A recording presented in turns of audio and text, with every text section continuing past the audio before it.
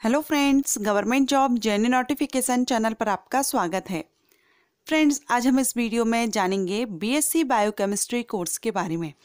अगर आप BSc course करना चाहते हैं बायोकेमिस्ट्री से तो आप वीडियो को एंड तक ज़रूर देखिएगा। मैं आपको इस वीडियो में फुली एक्सप्लेन करूँगी बायोकेमिस्ट्री है क्या, या बायोकेमिस्ट्री से अगर आप बीएससी करना चाहते हैं तो इसके लिए आपकी एलिजिबिलिटी क्या होनी चाहिए कोर्स ड्यूरेशन क्या है बायोकेमिस्ट्री कोर्स की फ़ीस क्या रहती है, इसके अलावा इसका सिलेबस क्या है बी बायोकेमिस्ट्री करने के बाद आपकी जॉब अपॉर्चुनिटीज़ क्या है जॉब फील्ड्स क्या रहेंगी। ये सारी जानकारी मैं आपको इस वीडियो में दूँगी। वीडियो को एंड तक ज़रूर देखिएगा। वीडियो स्टार्ट करने से पहले अगर आप चैनल पर फ़र्स्ट टाइम विज़िट कर रहे हैं, चैनल को सब्सक्राइब कर लीजिएगा और बेल आइकन को प्रेस कर लीजिएगा, ताकि आपको नोटिफिकेशन टाइम से मिल सकेगा जब भी मैं कोई न्यू वीडियो अपलोड करूँगी। चलिए अब हम वीडियो स्टार्ट करते हैं। सबसे पहले हम जानेंगे बायोकेमिस्ट्री है क्या। बायोकेमिस्ट्री मीन्स जैविक रसायन, हिंदी में जैविक रसायन कहते हैं। बायोकेमिस्ट्री विज्ञान की वह शाखा है, ब्रांच है जिसमें जीप के अंदर होने वाली रासायनिक अभिक्रियाओं तथा रासायनिक युगों की स्टडी की जाती है। Means biochemistry chemical substance and उनके प्रोसेस की स्टडी है, जो प्लांट्स में एनिमल्स में या माइक्रो ऑर्गेनिज्म में ऑक्योर होती है।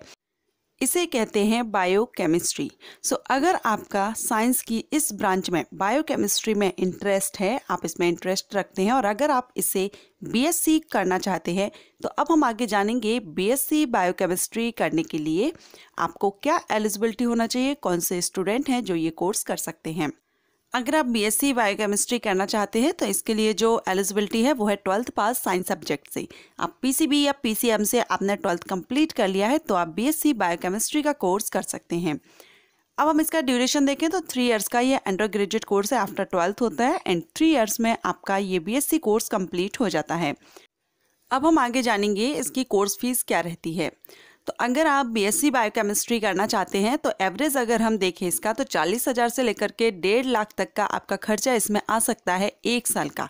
एक साल का आपको ये फ़ीस पे करनी पड़ सकती है। ये कॉलेज पर डिपेंड करेगा। अगर आप किसी बड़े कॉलेज से करेंगे तो आपका डेढ़ लाख तक का खर्चा रहेगा। लेकिन अगर आप किसी नज़दीकी कॉलेज से या जहाँ पर एडमिशन या सीट अवेलेबल रहती हैं, ज़्यादा आवेदन नहीं आते हैं एंट्रेंस एग्ज़ाम नहीं है डायरेक्ट एडमिशन अगर वहाँ पर मिल रहा है तो वहाँ पर भी आपको फोर्टी थाउज़ेंड के लगभग आपका खर्चा एक साल का रहेगा।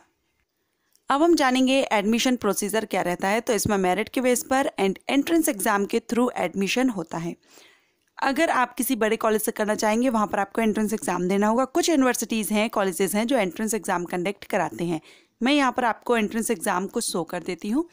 जैसे I I S E R B S C entrance exam U P C A T E T ये Uttar Pradesh combined agriculture and technology entrance test है।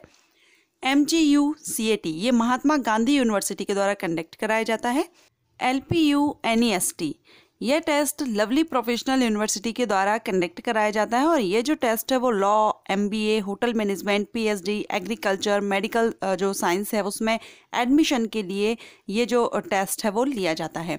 सो ये कुछ एंट्रेंस एग्ज़ाम हैं, टेस्ट हैं जो आपको देने पड़ सकते हैं। यहीं अगर आप दिल्ली यूनिवर्सिटी में या किसी अदर यूनिवर्सिटी में करते हैं तो वहाँ पर एक बार कन्फर्म कर लीजिएगा, डायरेक्ट एडमिशन है या मेरिट के बेस पर है या आपको एंट्रेंस एग्ज़ाम के थ्रू एडमिशन वहाँ पर दिया जाएगा। अब हम जानेंगे सिलेबस क्या रहता है बीएससी बायोकेमिस्ट्री का। तो यहाँ पर सेमेस्टर रहते हैं। एक साल में आपके दो सेमेस्टर होंगे, तीन साल में टोटल छः सेमेस्टर होंगे। मैं ईयरली आपको यहाँ पर सिलेबस बता रही हूँ। सो so, आपका फ़र्स्ट ईयर में आप जिस जिस सब्जेक्ट्स पर स्टडी करेंगे वो है biological science chemistry cell biology lab and biological science lab in cell biology public administration environmental studies lab in biomolecules ये सब्जेक्ट्स हैं टॉपिक्स हैं जिन पर आपको first semester and second semester में स्टडी करना होगा।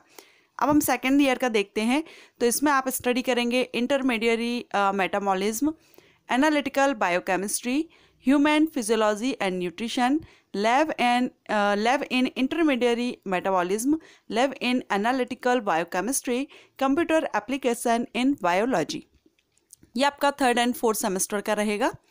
एंड लास्ट में जो आपका थर्ड ईयर का रहता है, उसमें आप स्टडी करेंगे molecular biology clinical biochemistry endocrinology environmental studies basic immunology basic biotechnology biostatistics bioinformatics lab and clinical biochemistry lab in basic immunology ये आपके तीनों सालों का सिलेबस है जो आपको स्टडी करना होगा। सेमेस्टर वाइज है मैंने आपको एक ही सब्जेक्ट जैसे कि आ, किसी एक सब्जेक्ट के बारे में यहाँ पर बताया है वो आपके दोनों सेमेस्टर में भी हो सकते हैं। फ़र्स्ट एंड सेकेंड करके उनको दिया जाता है। अब हम देखेंगे जॉब फील्ड्स क्या रहती हैं आप कहाँ कहाँ पर किस तरह से जॉब ले सकते हैं। तो अगर आप बीएससी बायोकेमिस्ट्री करते हैं तो इसके बाद जो फील्ड्स हैं एरियाज़ हैं जहाँ पर आप जॉब लेंगे वो हैं मेडिकल इंडस्ट्रीज़ में आपको जॉब मिल सकती है रिसर्च लैब में आप जॉब ले सकते हैं एग्रीकल्चर या आपको टीचिंग का शौक़ है तो आप कॉलेज में या यूनिवर्सिटी में आप ले सकते हैं। इसके अलावा जो दवाइयाँ बनाने वाली कंपनीज़ रहती हैं, वहाँ पर आपको जॉब मिल सकती है। सो ये आपके जॉब फील्ड्स हैं जॉब एरियाज़ हैं, जहाँ पर आप गवर्नमेंट या प्राइवेट जॉब ले सकते हैं। अब हम जानेंगे इस जगह पर आप किस तरह से जॉब आपको मिलेगा मीन्स जॉब पोजिशंस क्या रहेगी। तो आप एज अ क्लिनिकल रिसर्चर या biochemist product development manager medical review officer assistant of professor आप इसमें बन सकते हैं। सो so, ये है जॉब फील्ड्स एंड किस तरह से आप जॉब ले सकते हैं means job positions after BSc लेकिन फिर भी मैं आपको यहाँ पर सजेस्ट करूँगी जैसे अपने सारे कोर्सेज मैं जितने भी कोर्सेज के वीडियोस अपलोड करती हूँ बीएससी कोर्सेज के उन सभी में आपसे सजेस्ट uh, करती हूँ कि आप बीएससी के बेस पर तो आपको जॉब मिल सकती है लेकिन फिर भी अगर आप प्रोफेशनल कोर्स चूज़ कर रहे हैं तो आप उसमें एक अच्छा कैरियर बनाना चाहेंगे। इसके लिए आप इसमें एमएससी कर लीजिए पोस्ट ग्रेजुएशन कर लीजिए। उसके बाद अगर हो सके तो आप इसमें पीएचडी कीजिए। पीएचडी के बाद डेफिनेटली आपका इसमें एक अच्छा कैरियर बन सकता है।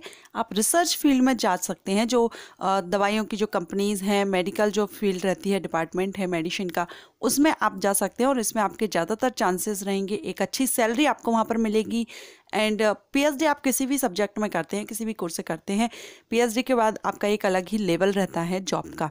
सो so, अगर आप एमएससी भी करते हैं पोस्ट ग्रेजुएशन भी करते हैं उसके बेस पर भी आप एज अ असिस्टेंट प्रोफेसर या लेक्चरर आप बन सकते हैं कॉलेज में यूनिवर्सिटीज़ में अगर आपका टीचिंग में इंटरेस्ट है। सो so फ्रेंड्स ये थी जानकारी बीएससी बायोकेमिस्ट्री कोर्स के बारे में। क्या एलिजिबिलिटी रहेगी? कोर्स ड्यूरेशन क्या है? कोर्स की फ़ीस क्या है? सिलेबस क्या रहेगा? आप किस तरह से जॉब ले सकते हैं? ये सारी जानकारी मैंने आपको स्टेप बाय स्टेप क्लियर की है कोशिश की है कि आपको ये सारे पॉइंट्स क्लियर हो सकें।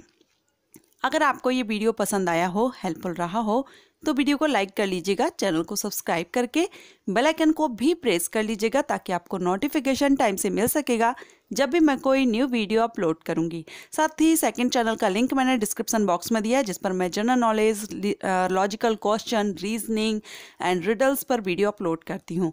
अगर आप इसमें इंटरेस्ट रखते हैं तो एक बार विज़िट कीजिएगा और अगर पसंद आता है तो चैनल को सब्सक्राइब कर लीजिएगा। साथ ही अगर आप किसी न्यू टॉपिक पर वीडियो चाहते हैं तो कमेंट ज़रूर कर दीजिएगा। मैं कोशिश करूँगी जल्द से जल्द वीडियो अपलोड करने का। Thank you